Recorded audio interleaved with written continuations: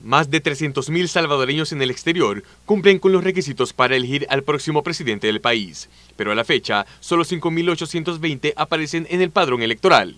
El magistrado del Tribunal Supremo Electoral Argüello Telles explicó los factores que inciden en la baja participación.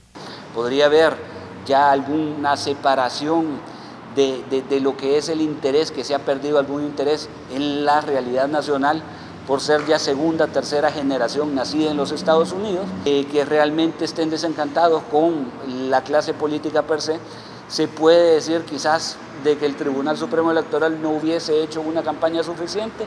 Sin embargo, estamos conviviendo con presupuestos de austeridad que no nos permiten pues, realizarla.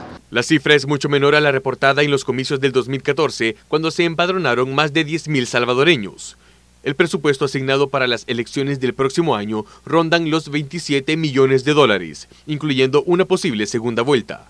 Según el magistrado del TSE, ha sido necesario implementar medidas de austeridad para cumplir con el calendario electoral.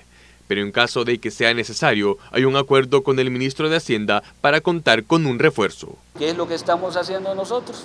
Pues eh, procurando tomar medidas de austeridad siempre y cuando no afecten el correcto desarrollo de lo que es el proceso electoral.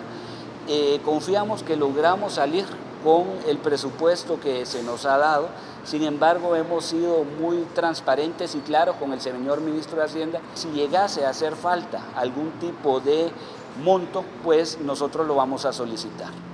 Este mes han comenzado las visitas a las escuelas que servirán como centros de votación y el próximo 9 de octubre comienzan las capacitaciones para los miembros de las juntas electorales departamentales y la elaboración de instructivos para los organismos electorales temporales para que las reglas del proceso estén claras y definidas.